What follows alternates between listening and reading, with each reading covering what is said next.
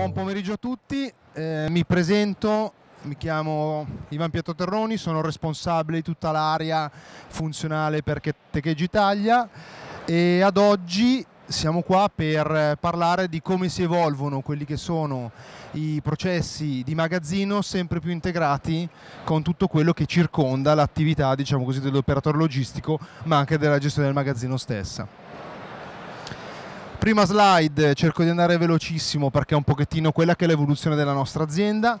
TechEdge è un'azienda che ad oggi opera in più di 20 uffici in giro per il mondo, eh, abbiamo una crescita a doppia cifra che ci caratterizza in tutti gli anni, stiamo evolvendo parecchio in tutto quello che sono le tematiche praticamente funzionali di processo con integrazione ampiamente tecnologica.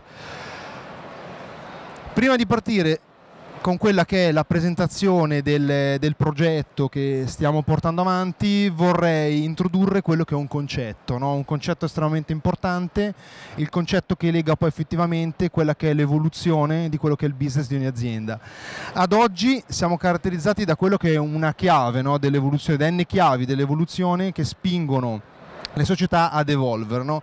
concetto tendenzialmente darwiniano di quella che era la sopravvivenza delle specie, ad oggi diventa un concetto molto più ampio che caratterizza quella che è l'evoluzione delle aziende. Le aziende che riescono a stare al passo coi tempi, che riescono ad evolvere correttamente, che riescono a sfruttare quella che è la tecnologia per il valore aggiunto del business, sopravvivono meglio, hanno valore aggiunto e riescono a crescere, diciamo così, in quello che è un mercato che ad oggi è estremamente competitivo quattro chiavi, a mio avviso, sono rilevanti e importantissimi per l'evoluzione. Concetto di innovazione. L'innovazione è tutto quello che riesce a far sì, a propendere quella che è un'azienda verso quella che è una nuova tecnologia, che potrebbe portare qualcosa di nuovo.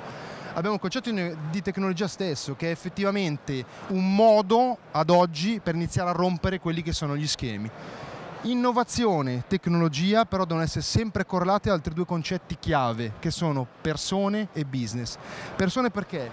Con innovazione e tecnologia noi siamo in grado di supportare meglio quella che è l'attività delle persone, togliere quella che è l'attività magari un po' più manuale, di meno valore aggiunto, far sì che le attività ripetitive non siano fatte dall'uomo, ma che l'uomo dia poi valore aggiunto in tutto quello che è il business reale e che possa utilizzare il tempo, il suo tempo che ha all'interno del mondo lavorativo, in quella che è la vera e propria evoluzione della sua attività. Business perché la tecnologia, l'innovazione e le persone sono tre concetti fondamentali che possono aiutare quello che è il business in un'azienda. Senza quei due concetti lì tendenzialmente il business ad oggi diventa comunque difficile da portare avanti perché l'evoluzione comunque è in costante aumento. Torneremo poi su questa slide qua alla fine della presentazione in modo da raggiungere quello che è l'obiettivo, no? il, concetto più, eh, il, concetto più, legato a quello che è la maieutica socratica, no? cercare di riuscire a capire che cosa poi dopo arriviamo cercando di met mettere assieme questi quattro oggetti qua e presentando quella che è la nostra esperienza. Esperienza progettuale. Ad oggi il progetto che stiamo seguendo per un cliente che tendenzialmente è leader all'interno del loro settore ha essenzialmente quattro macro obiettivi. Il primo obiettivo è l'upgrade proprio di quello che è il sistema IWM. L'IWM è un sistema che permette quella che è la gestione estesa del magazzino, è molto più ampio rispetto a quello che è il concetto del VM attuale e supera notevolmente il concetto di tutti quelli che sono i VMS che ad oggi caratterizzano potenzialmente la gestione del magazzino su molte aziende. Secondo obiettivo estremamente importante è quello di riuscire ad integrare tutto quello che è il mondo del magazzino automatico, quindi del traslo elevatori, conveyor, gravity line con quello che è il modello del classico RP di magazzino. Quindi secondo obiettivo, grazie all'upgrade tecnologico, è quello di riuscire a portare un nuovo concetto di integrazione diretta tra quello che è un sistema RP di gestione magazzino a quello che invece è più il concetto fisico di movimentazione di quelli che sono i pallet o anche l'handling unit all'interno della realtà logistica. Terzo punto estremamente importante, considerando che è una migrazione di sistema, quindi io dico voglio mitigare il rischio, limito tutto quello che è l'impatto con i processi business, ok, lo faccio, ma introduco sicuramente delle nuove funzionalità.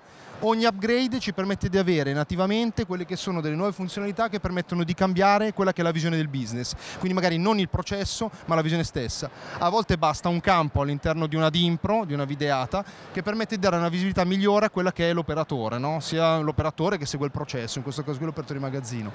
Il quarto obiettivo per l'azienda in cui stiamo lavorando è proprio la nuova visione per il futuro. Il fatto di poter integrare quello che è il magazzino, la gestione del magazzino, delle componenti con quelle che sono effettivamente le PLC e tutta la struttura automatizzata del magazzino permette di guardare al futuro. Perché? Perché posso fare delle cose che prima potenzialmente non potevo fare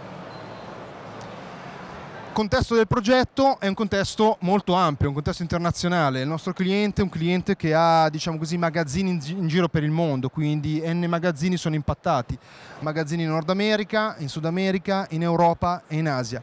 Qual è il concetto? Ogni magazzino è diverso da un altro. Sappiamo benissimo che all'interno delle realtà logistiche, a diverso magari di quelle che sono le realtà contabili, che tendenzialmente sono abbastanza standardizzate, tranne magari quelle che sono localizzazioni fiscali, i magazzini tendono ad essere specifici non solo per azienda, azienda azienda, ma anche all'interno della stessa azienda ogni magazzino dipende da quelli che sono i processi che vengono correlati attorno.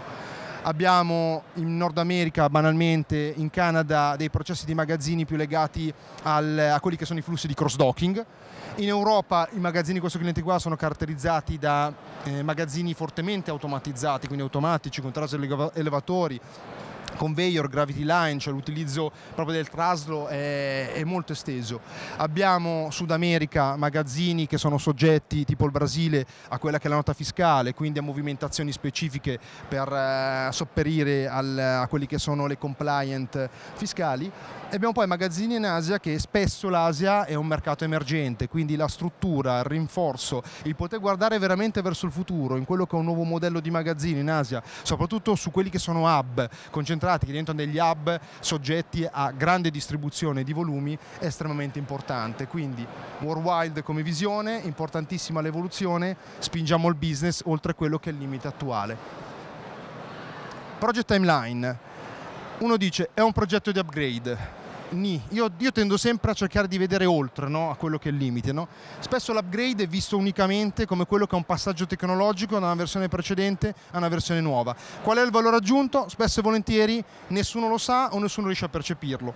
Il vantaggio di quello che deve garantire e dare quello che è un consulente effettivo è riuscire a spiegare effettivamente qual è qual è il valore aggiunto di quello che è un upgrade, perché l'upgrade permette di darci delle chiavi nuove per aprire delle nuove porte. Poi dobbiamo essere noi a cercare di indirizzare quella che è la roadmap verso la vera evoluzione e indirizzare praticamente quella che potrebbe essere l'ottimizzazione del supporto al business. Il progetto ha un impatto all'interno della prima fase legato diciamo così, a quello che è l'upgrade, upgrade che è tendenzialmente di natura tecnica, quindi upgrade tecnologico, mitigazione del rischio, conservativo.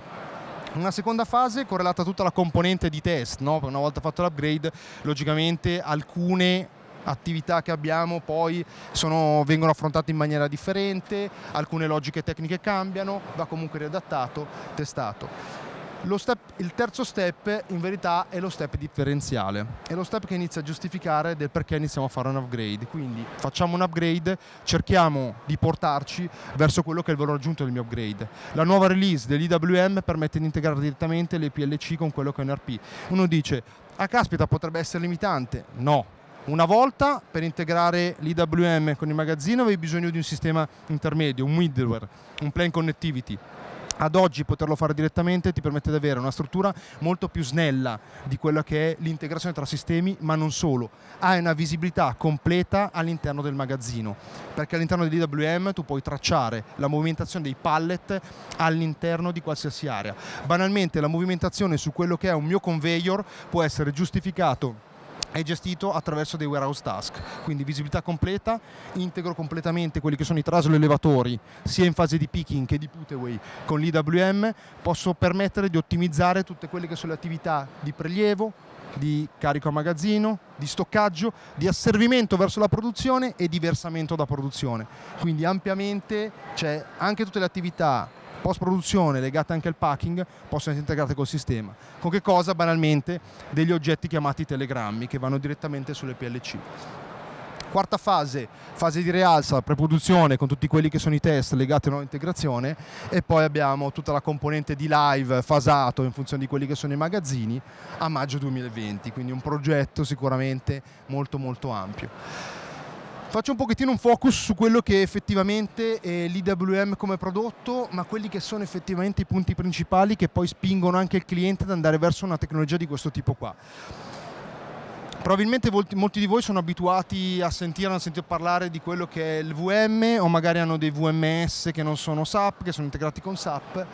Spesso e volentieri le logiche dei VMS tradizionali o di quello che è il SAP VM tende a gestire quello che è il ricevimento della merce subito dopo al concetto di ricevimento logico. Cioè io ricevo logicamente quello che è il, il bene che mi sta arrivando, ipotizziamo, dopodiché inizio a fare lo stoccaggio. Perfetto, lineare, mi piace ma il valore aggiunto è proprio questo che, che, noi vogliamo all'interno dei nostri magazzini o vogliamo un processo maggiormente integrato? Il processo maggiormente integrato mi dà una visibilità maggiore della merce che sta arrivando in magazzino con tutto quello che è ricevimento? Sì o no? Parliamo di flussi inbound.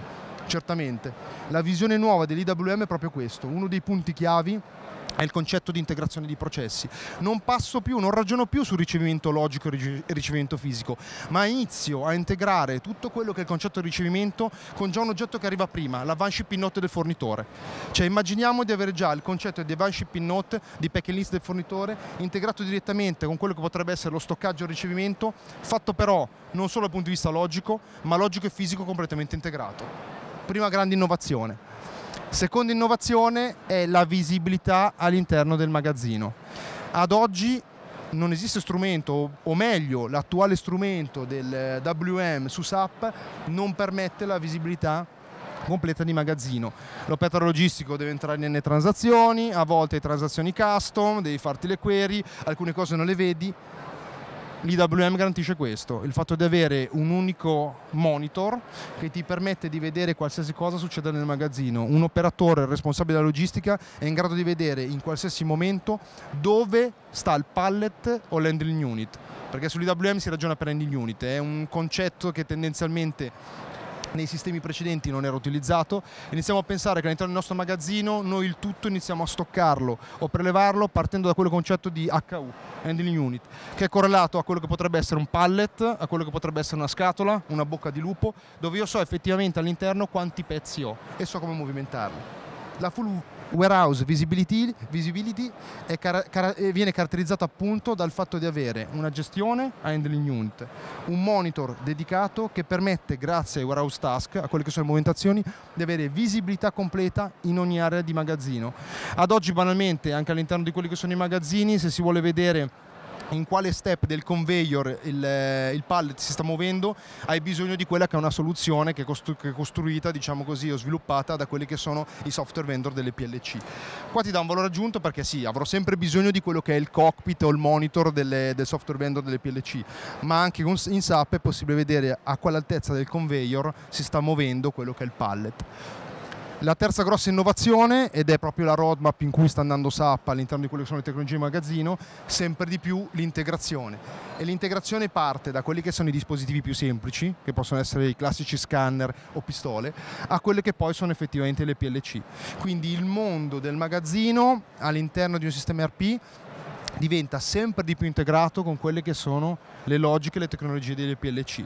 C'è questo grosso valore aggiunto, parlando con, eh, con, un nostro cliente, presentando anche una demo su quella che è la soluzione, il cliente ha detto caspita mi sta venendo in mente iniziare a introdurre all'interno del magazzino delle tecnologie nuove che fino ad oggi non ho mai pensato di introdurre perché limitanti, avevo paura di avere n sistemi che giravano, n concetti di manutenzione, complessità e tutto. Ad oggi è possibile evolvere quelli che sono i processi business all'interno proprio di quello che è il concetto delle funzionalità dell'IWM. Si è bloccato.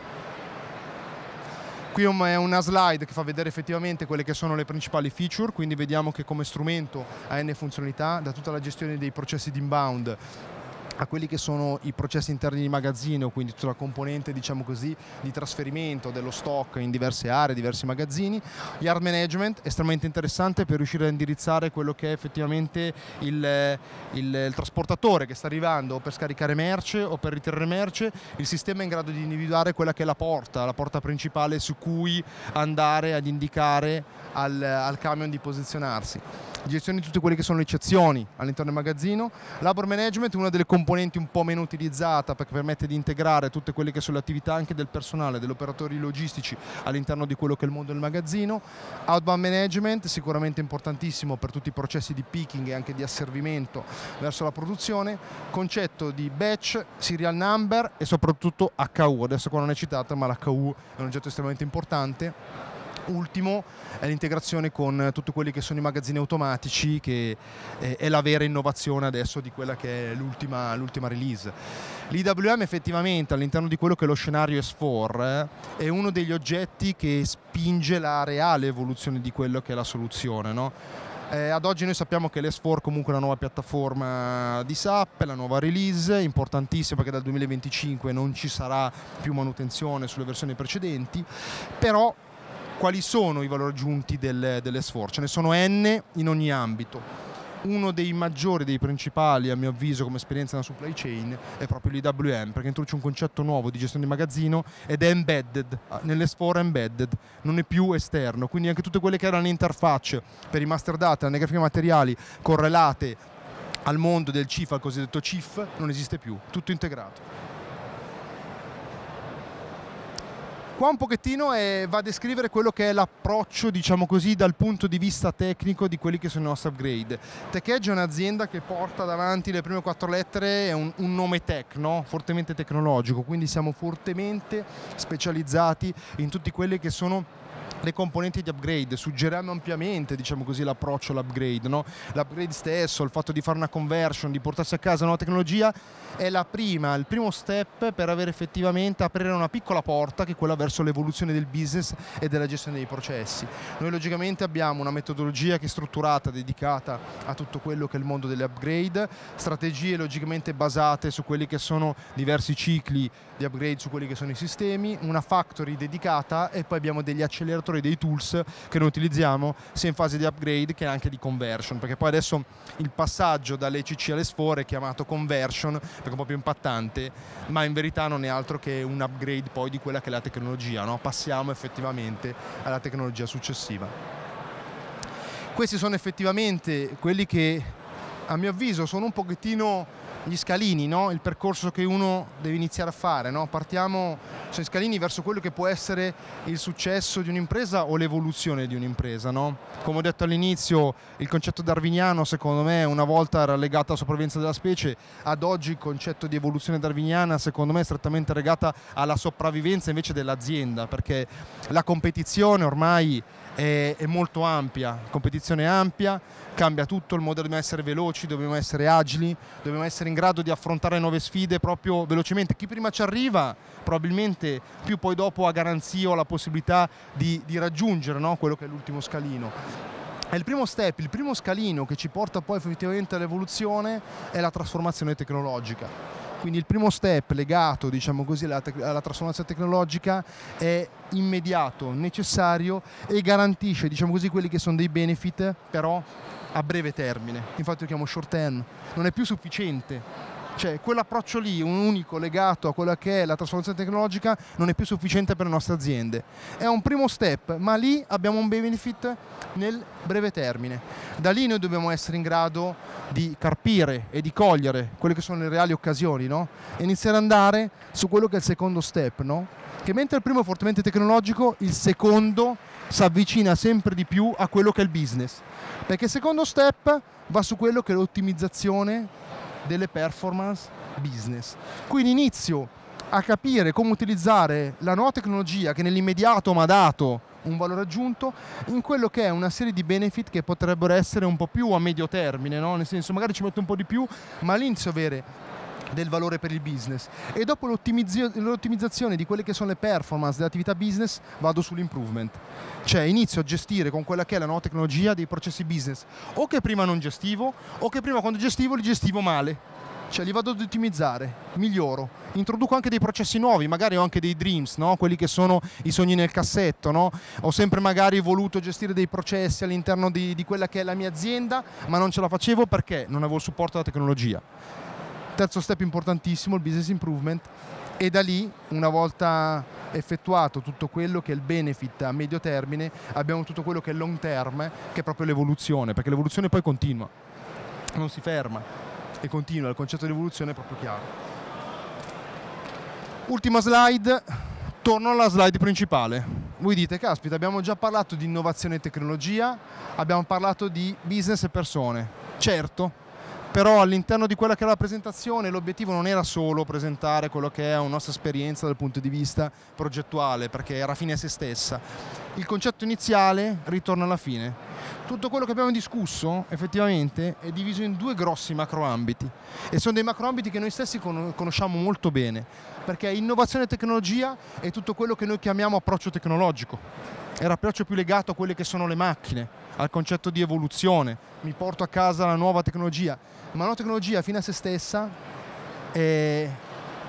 non serve a nulla, nel senso abbiamo un altro approccio che può essere anche quello considerato a sé stante, perché spesso e volentieri si parla di persone, di business, di come si possono ottimizzare i processi ad alto livello e quello è l'approccio più funzionale e strategico, però è sempre alto livello.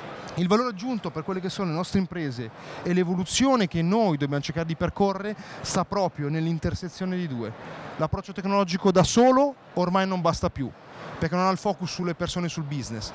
L'approccio legato solo ai concetti funzionali di persone e business dal punto di vista strategico non sono più sufficienti, perché per metterci nelle condizioni di lavorare meglio e di evolvere è proprio l'intersezione. Maggiori siamo coscienti e in grado di riuscire a creare quella che è l'intersezione tra questi due approcci e maggiore il valore che noi riusciamo a dare alle nostre aziende. Quindi proprio il concetto base di quella che è la presentazione all'interno di questi 25 minuti qua è provare proprio a stimolare quello che è non solo il progetto che stiamo facendo, ma proprio il concetto di evoluzione tecnologica votata poi a quella che è il, supporto a quello che è il business e le strategie aziendali.